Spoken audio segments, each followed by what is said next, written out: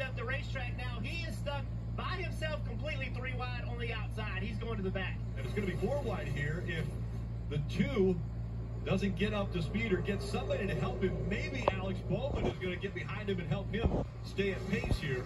Look at that front two there. Chase Elliott around the outside. Kind of flip flop from what we saw earlier. Oh,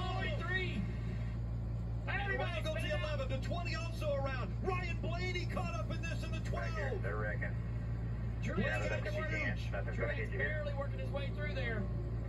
Did Blaney get damage here? Yes. Oh, yes. yes. Damage to the 12 of Ryan Steering Blaney. wheel is 180 degrees.